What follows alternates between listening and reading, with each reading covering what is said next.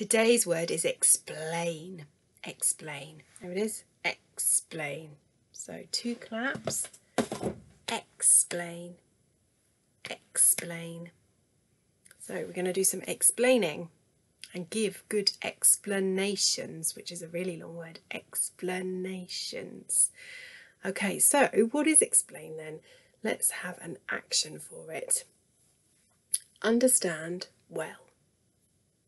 So point to your head and the thumbs up. So you're helping somebody else understand well. So when you explain, you're helping another person, the person you're talking to, understand well. So that's why we've got that action.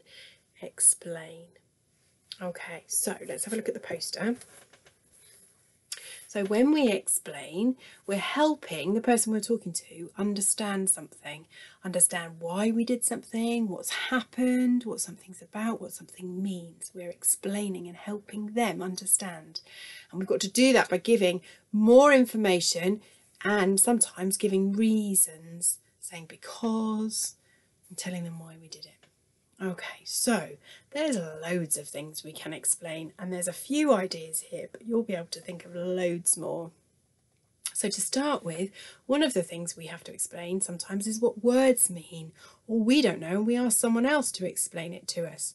So, maybe your friend at school's just read something in a book and they say, Hey, what does it disgusting mean? They're asking you to explain what disgusting means. So, you could say disgusting means horrid, yuck. Um, you might get asked to explain what you like best about the summer holidays. You might say you love um, being able to go to the beach a lot and spend all day there. You love being able to stay up a little bit later at night. You love being on holiday with your family. You're giving your reasons in your explanation for why you what you like best. Okay? You might be asked to explain what you'd like to do when you're older. And you might say, I'd like to fly aeroplanes, I'd like to be a pilot. So you've given, you've said what you like to do, you've helping them understand, and you're saying why? Because you think it would be really fun to fly to lots of different countries and see lots of different countries. You'd love to go up in the sky that high, and you'd love to go that fast.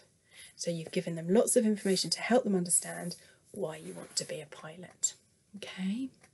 Sometimes we have to explain how. So maybe um, somebody has never played What's the Time, Mr. Wolf before, and they ask you, How do you play that game?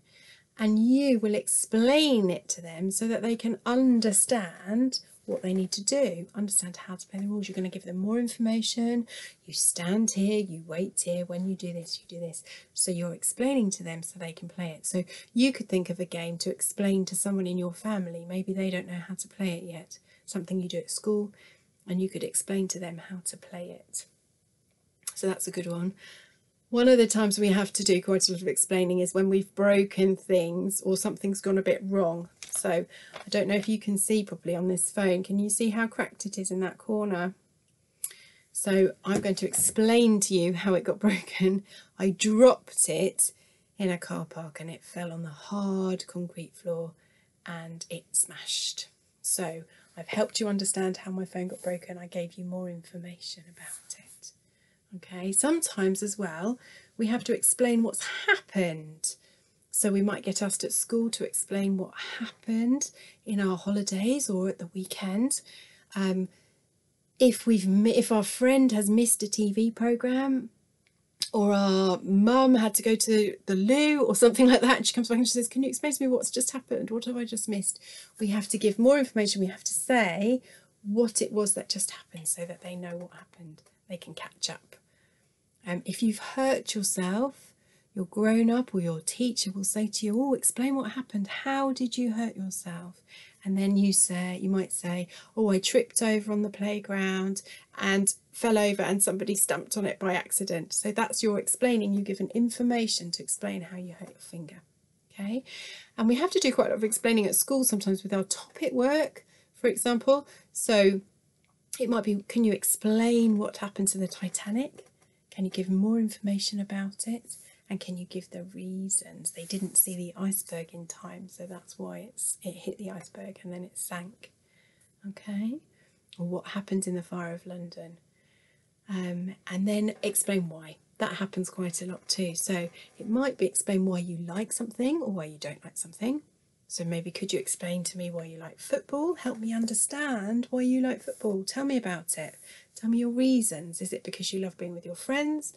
You love the feeling when you get to score a goal? What is it? Um, I could say to you, hey, why are you wearing fancy dress today?